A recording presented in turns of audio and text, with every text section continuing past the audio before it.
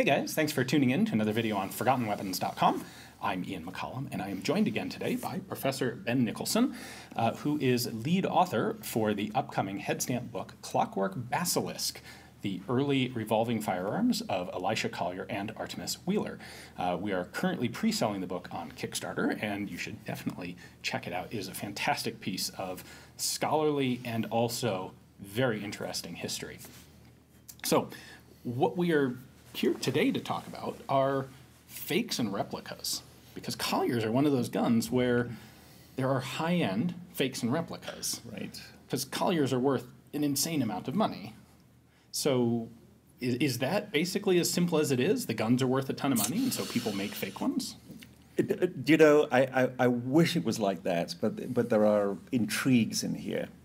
Um, there's, uh, I mean, certainly there are people trying to pull the wool over your eyes and uh, uh, trying to make something as precise as possible is every forger's dream. And if they could get a copy of it in the Metropolitan Museum in New York, they would have had a good day because it's the ultimate con.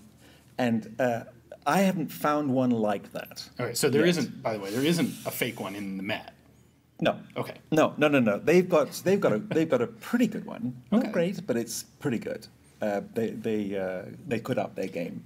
I think some people may not realize that the Metropolitan Museum of Art in New York has a firearms collection. Uh, and actually, it is the most visited collection within the museum.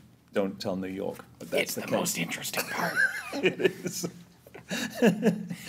anyway, so is it a matter of like professional challenge to copy them, or Well, you see, I, I think the forger's art is that's always in the back of your mind. That if you could, if you could, if you could uh, dupe the expert, then you've had a good day. for sure? Uh, but um, so that would be at one end of the of the story. Then there's going to be someone who just wants to uh, convince the person who doesn't know a lot, and who has that flutter in the stomach that they can finally get a collier, and uh, passion overtakes reason. Checks aren't made, and the money goes on the table, and the forger, rather than the copyist, has had a good day. okay. So then you have um, uh, another kind of person who could never afford a collier, but they would be okay with a copy, Okay. and that is an, an acknowledged copy that um, uh, looks close enough but is not the real thing. It's not a fake, it's an homage. Well, yes, Sort of. exactly, E- exactly. I mean, you, when you go into fakery, you deliberately deceive. Um, but even, but as every uh, uh, color of truth, it ain't always straightforward and simple. I can certainly see there being an interest in having a collier just because it Yeah. is such a fundamentally important firearm Right. in developmental history. Sure. You know, there are a lot of other guns that are valuable, but you know, they apply they appeal to a very specific niche of one sort or Yeah. another. The collier is really, as you've said, it's the fountainhead of all modern revolvers. Right. It, it could well be that it's running on the ca- coattails of uh, Colt firearms, which there are some extremely uh, capable forgers. Okay. And uh, the, the, the, uh, Colt collectors who have to work with um, uh, any of the walkers, they're really on high alert. That's like true. super high alert. Yeah. So I would say that, that this is a sort of a subset Okay. of, of, of that uh, group. So we know there are about 80 authentic Yeah. colliers Yeah. out there. Yeah. How many fakes, replicas, duplicates did you encounter? Well, we've got probably half a dozen. okay. which is a lot when you think about it. I mean, six out of 80 uh, is a lot. That's true. That's almost, that's like 8%, Uh, 7.5%. exactly. Of, Yeah, it's a lot. Okay. Um, and then there's also the question of where they might be made. I was just about to ask you that. Yeah. And I would like to say that um, the, uh, th- those made in, in Europe and the uh, East are about 50 50. Really? But I, you know, we've never met a, a forger or Okay. a copyist or a, or a, uh, uh, uh, any of those personalities yet. And I'm looking to do so. Okay. So are they being made currently, you think? Or was there a time period when this was? The, the 1970s, you see, f- fakes and forgeries are one thing regarding faking the, uh, the artifact. Then you have to fake the provenance. And that's where things get really tricky. Okay. And so if the story begins to dribble out at a particular decade and there's nothing there, then you are on, again, high alert. There's no evidence of who was a previous owner. Uh, there's no evidence of, of letters or mus- uh, catalogs from auction sales. There's nothing. And then there's dirt. And yes, the, the dirt on dirt is really important. Because if you have like new grease, something to watch out for. Uh, uh, it, it- you know, that, that crud between the uh, checkering uh, is important. It's hard to fake, very hard to fake dirt. Okay. So uh, the dirt on dirt is important. Um, there's also the way something looks and the way that it is engineered.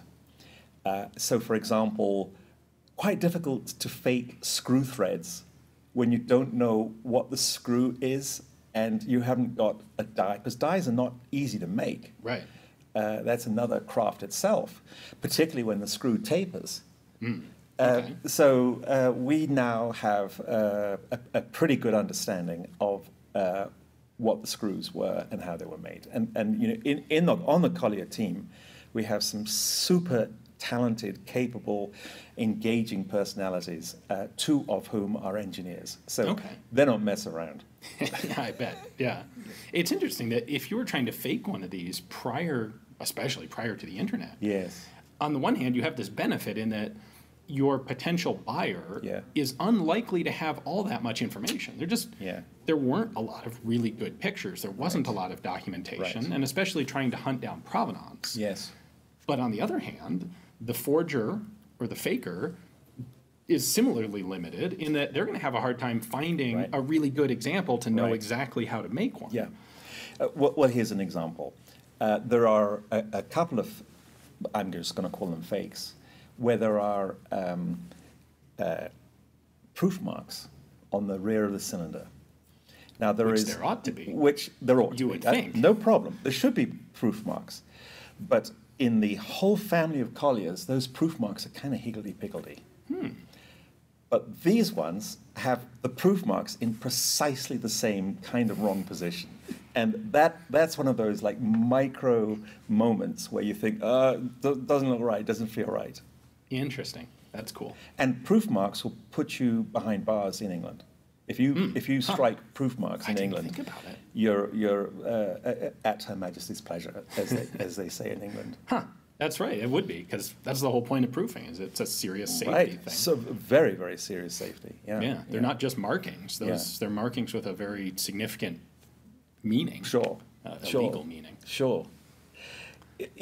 You know, so, so I, I talk with collectors about um, fakes. Mm-hmm. 'Cause I, you know, I, I, don't, I don't have the money to do this kind of thing. I, I do. I, I can look in and uh, be the be the academic, and I always ask people what their emotional experience is when they have a fake in their hand. And it, it's on one hand you want to buy it because then you've got a collier, but there is this sort of groundswell of almost nausea, whereby passion is fighting logic, and and uh, so there is you know terms like it's not quite right, mm, doesn't feel good, uh, and and the general rule is, as soon as you have that emotional experience, put it back down the table Okay. and and uh, I, I you know that that aspect of human collecting is pretty fascinating. It would be. There's a lot of interesting psychology in there. More, a lot, a lot. yeah. Okay, so I want to put this out there for the audience, and Yeah. frankly, I'm not entirely sure myself. What does a collier cost? Like, this is such a, a high end Yes. level of collecting. You know, there's Yes. there's 80 of these guns in existence, Yes. and the majority of them are in Yeah. museums where Yeah. they're not on the Sure. market at all. Sure. Like someone who's looking at a collier. What's the difference between oh that's a pretty nice real one versus oh Yeah. that's a pretty nice fake? Yeah. You're you're looking at a lot of money for a fake, aren't you? Even an acknowledged. fake. Uh, an acknowledged fake is going to be under five thousand dollars. Oh. Under. cheap, virtually Yeah, nothing. throwaway price. Fiddling. There have been two what you might call wall hangers come Okay. up, and they are also under five thousand dollars. Okay, I'm honestly surprised by that. Um, and, and the so-called wall hangers have some in- in- extraordinary tales to tell.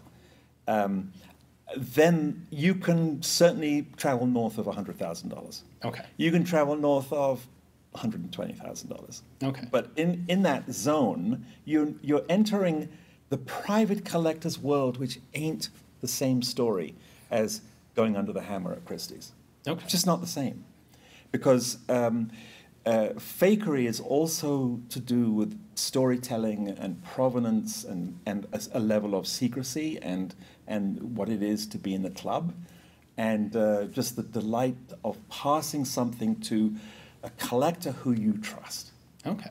And, and so for the, for, the, for the, the great collectors, they don't want this, A, put into a museum, because then it's out of circulation. Right. And therefore you adjust the price accordingly. Hmm. Okay. But this is all conversational. You'll never have any proof of it. Of course. But, but it, I think it belongs in this uh, beautiful uh, uh, dance of, of passing one thing to the next, one, one thing to the next. We're, a lot of collecting at, mm-hmm. at a lower level can be very interesting and very historically relevant, but it's largely a commodity.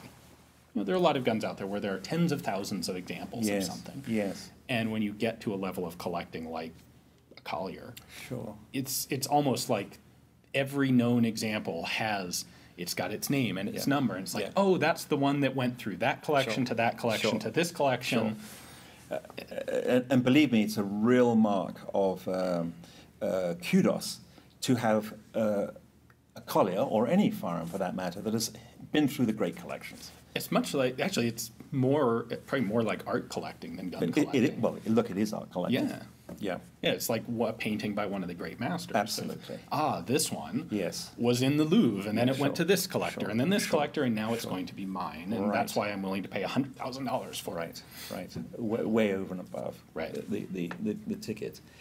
Um, I, uh, I would say that um, here's another aspect of copying. Colonial, Colonial Williamsburg makes firearms in their forge. okay Now, everybody can watch that gun being made, and the craftsman wants to get as close as possible to the original as they can. So, this is certainly a copy. Uh, it's acknowledged. It may be signed by the uh, gun maker, uh, you know, 2021. Uh, uh, uh, but, but the desire is to get all of the techniques learned. okay And for me, there's no such thing as a bad collier. Uh, whether it's a delicious one or a super crappy one, or a wall hanger or, or a fake made in some place that we don't know where, where it is, they're all interesting because they describe a way of life, a way of collecting, uh, a state of knowledge of uh, metals and finishes and uh, screw making. There's, there's no such thing as a bad piece of truth. Okay. And you can't be, it's not really such a thing as an amateur copy of a Collier, I suspect. Because they are so intricate and so deliberate. Yes, yes. Like, yeah, you're trying to sell it, but theoretically, you're trying Yeah. to sell it for tens of thousands of dollars. Yeah. There's a level of effort that's going to have to go into it. right. But and I suspect Collier himself might look at a few of those fakes and go, oh, Sure. oh, that's, sure, that's pretty well done. sure. Yeah, that's what I was trying to do. There are, but the the ones where the person has copied from the outside and doesn't know the story on the inside, they're my favorites. Because it, you know, it's, it's, it's like someone looking at a body, having no idea that there's a heart and a liver and a this and a that, and they would design the body with a tube going through because they just don't know, right?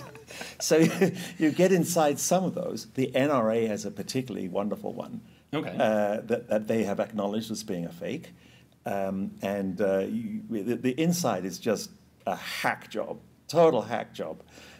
And then the, co- the really good copies, the interior of the lock is absolutely delicious. Okay, Yeah. interesting. Yeah. I didn't even think about it. Does anyone shoot colliers? It's probably Well, not. I, I, I- you know, I, it, every one that I come across, don't tell anybody this.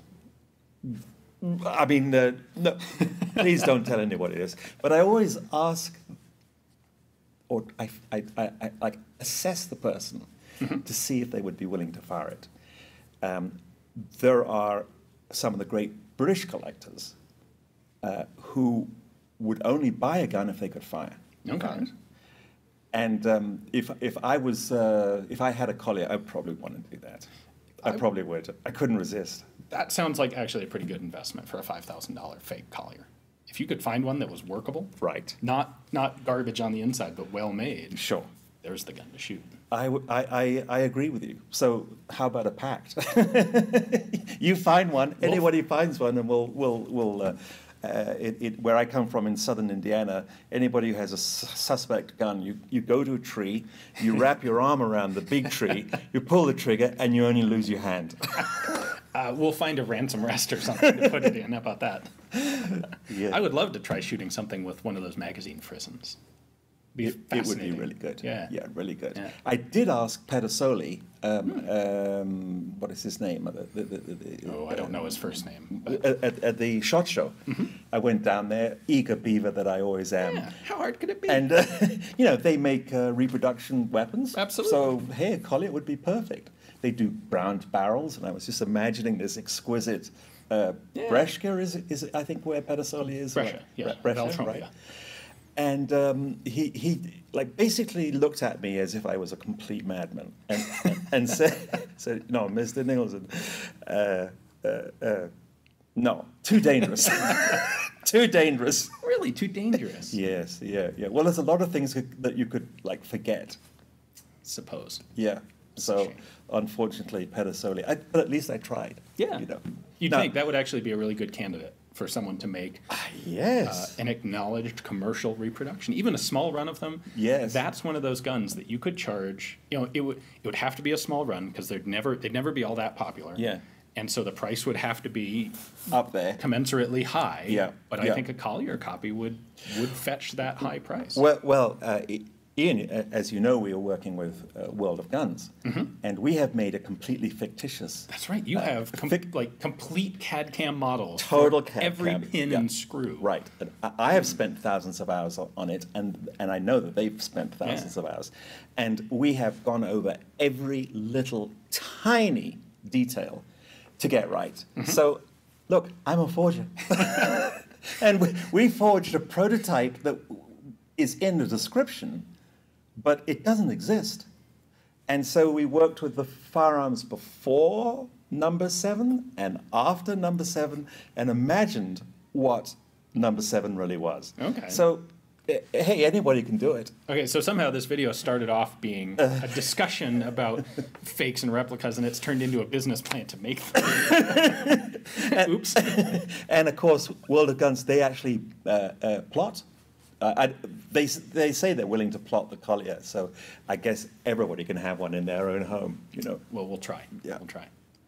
So there is an entire chapter on this subject in the book. Yes, you, Um, you would never think that that would happen uh, in, in a book that wants to be super serious. But the fact of Oh. the matter is that this is super serious. Oh, I think this is absolutely an Yeah. essential element. Yeah. If if it's something, granted, there's only going to be a small number of people who are actually going to get the book so that they can go get a collier. Right. Because there just aren't that Right. many out there, and No. you've got to have seriously deep pockets. Maybe one hand. But um, for those people, that's an essential element. And I think it's really interesting, valuable context for everybody else. Yeah. If I'm looking, even if I'm looking at something as mundane as a, a faked provenance on a Luger, Sure. I think it's relevant to the more fake and replica guns you understand, Yes. the better of an, an eye you have for spotting them elsewhere.